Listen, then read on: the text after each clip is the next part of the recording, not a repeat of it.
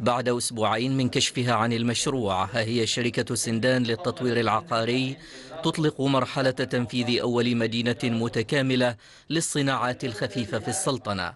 المشروع سيقام في منطقة حلبان بمحافظة جنوب الباطنة وستبدأ الأشغال فيه في يونيو المقبل على أن يكتمل بعد سنتين. هذا طبعا مشروع مبتكر مثل ما تعرفوا هي منطقة صناعية وهي منطقة صناعية شاملة. كان العرف طبعا أن تقوم الحكومة بإنشاء المناطق الصناعية والآن هذه مبادرة من القطاع الخاص. هناك عدد من الأراضي المعطلة الحقيقة في السلطنة في أماكن مختلفة وأتمنى أن يحذو المستثمرين حذوهم. طبعا الآن هناك مديرية عامة مختصة في وزارة الإسكان. تصنيف الأراضي في منطقة الباطنة تحديدا تم من قبل مجلس على التخطيط. البنوك متلهفة لتمويل هذا النوع من المشاريع. سندان واحد من المشاريع الصناعية الرائدة اللي لما طرحت علينا الفكرة وجدنا أنه آه هذا المشروع بيخدم فئة كبيرة من ال ال الصناعيين اللي اللي قد يعني يستأجروا قد يشتروا قد يعني يصبح مجتمع صناعي متكامل وفيه حاضنات مختلفة.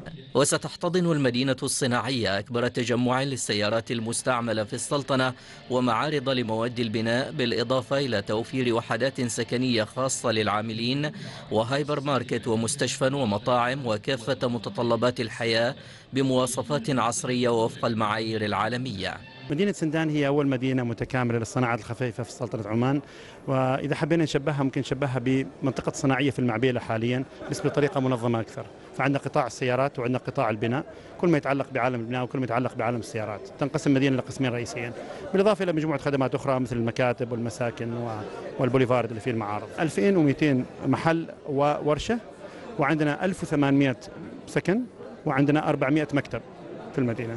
وتم خلال الحفل فتح الباب للراغبين في شراء مختلف وحدات المشروع مع اكتمال بيع جميع معارض السيارات قبل الطرح لعدد من أصحاب المؤسسات الصغيرة والمتوسطة الذين تستهدفهم المدينة الصناعية دعما للشباب العماني والاقتصاد الوطني.